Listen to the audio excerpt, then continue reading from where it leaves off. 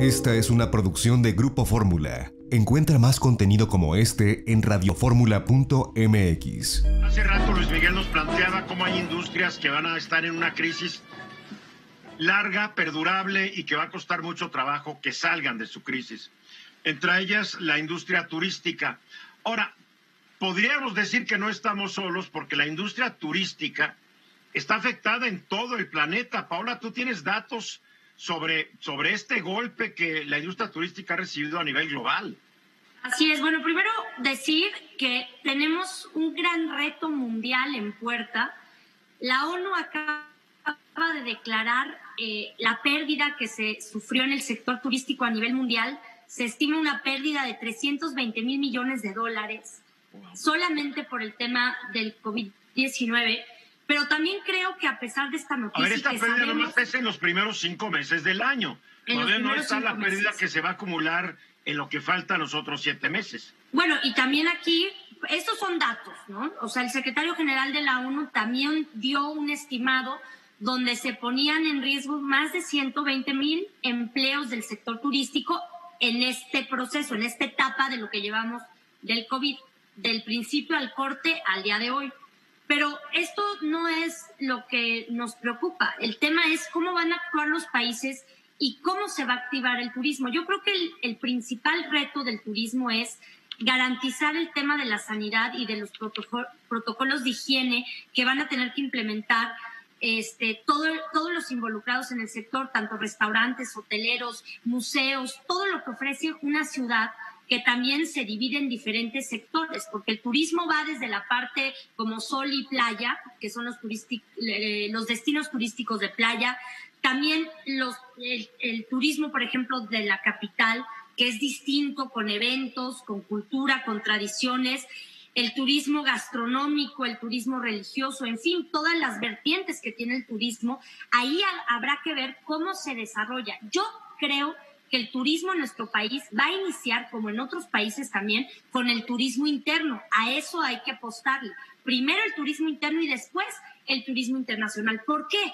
Porque primero tenemos que ver cómo van a reaccionar los otros países para decir, ya puedo tener eh, dinero para poder tomar un avión y llegar al destino, gastar, cómo van a estar los protocolos y también tiene mucho esto que ver con la campaña de promoción que se aplique en cada uno de los destinos y lo que se haga a nivel federal. Por eso, al final, tengo una conclusión que son los cinco puntos que se han trabajado en el país a pesar de la crítica y si la página de Visit México y toda esta controversia.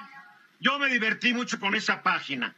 La verdad, si, Querés, divertirnos, la página estuvo divertidísima.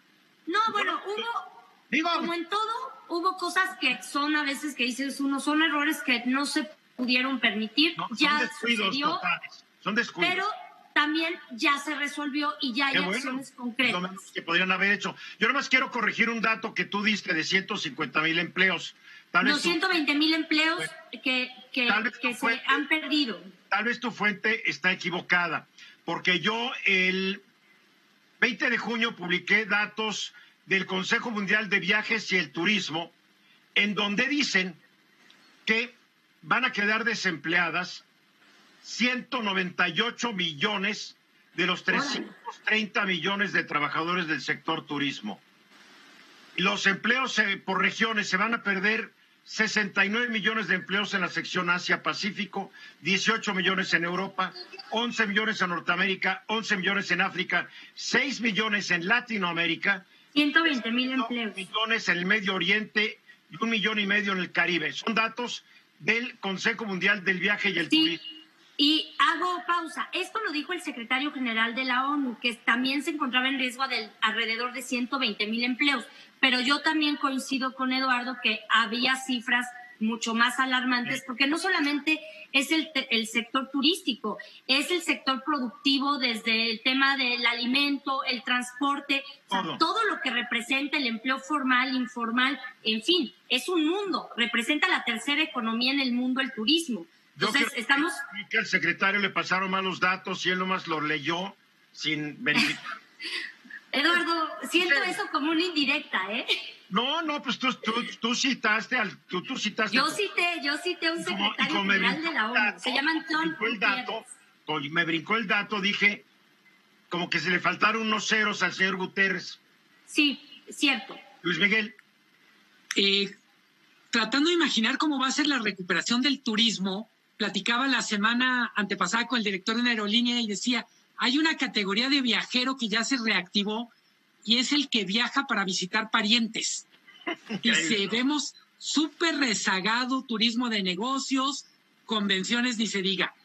Pero todo esto que tiene que ver con ir a visitar a, los padres, a los hermanos, es el primer motivo de viaje que estamos registrando, recuperándose en el motivo de viaje que la gente llena en las encuestas de las aerolíneas. Bueno, un estudio bien interesante. del Conference Board dice que la mayoría de los ejecutivos de primer nivel del mundo encuestados, que fueron como seis mil a nivel mundial, dicen que los viajes de negocios son, van a ser cosa del pasado, que ahora todo va a ser por videoconferencia, que las convenciones van a ser como la de demócrata, todo virtual.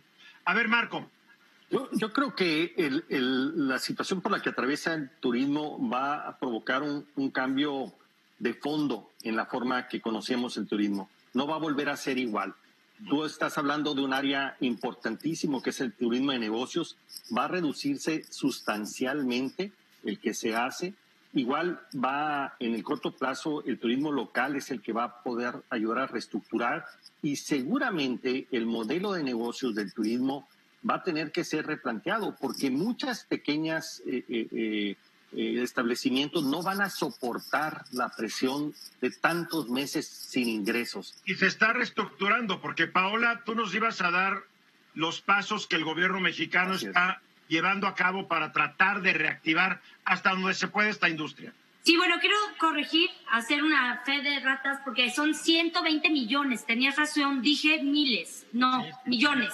Me equivoqué ahí, tuve un error. No importa, tampoco, tampoco te crucifiques. a ver, son. son la serie de tonterías que yo digo al aire? Hombre. Son, son, son ciento, son cinco acciones que voy a mencionar, entre otras, pero que son las prioritarias y que son las que realmente van a generar un cambio, aparte de hacer un reconocimiento a todas las cabezas de sector que se han, en verdad, eh, ahora sí, la palabra, se han rifado, se han puesto toda la camisa eh, para seguir adelante y para sacar adelante con lo que pueden, con lo que consiguen, para poder rescatar lo que se pueda rescatar. Porque al final la realidad es que se han cerrado muchos restaurantes, se han perdido, o sea, la ocupación en, en, en diferentes estados de la República llega, aunque es del 30%, por ejemplo, aquí en la Ciudad de México, a veces hay hoteles que tienen 30 personas y tienen una ocupación de 700 habitaciones. Bueno, hasta los hoteles de paso han perdido clientela con esto de la pandemia. Bueno, hoteles de paso, pero no en Tijuana, porque ya, ya veíamos que hay lugares donde el turismo Tijuana no, Tijuana sigue atrayendo a los gringuitos. Sigue atrayendo. Entonces, hay cinco ejes. entrar por un acuerdo que se firmó entre ambos gobiernos.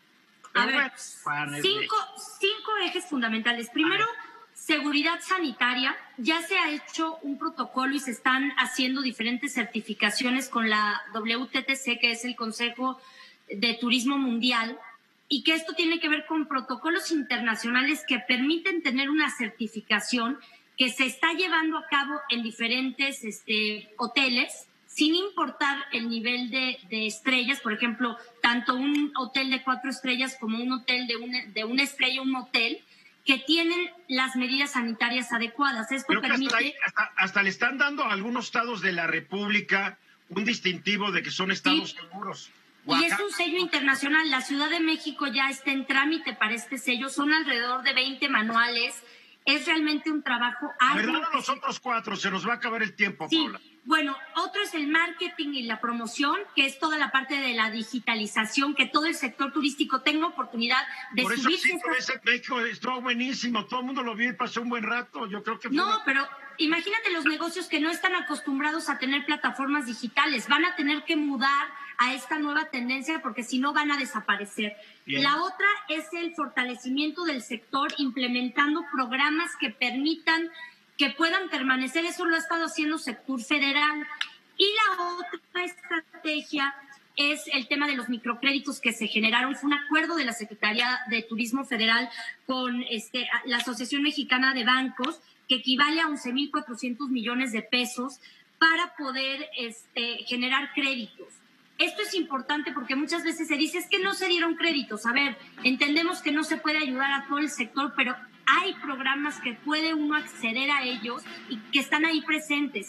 También este, somos la cabeza de CITUR, que es la, la, Comisión Interamericana de Turismo. México lo preside. México está ocupando espacios importantes. Entonces, tenemos que ser punta de lanza para poder ser ejemplo. Esta fue una producción de Grupo Fórmula. Encuentra más contenido como este en radioformula.mx.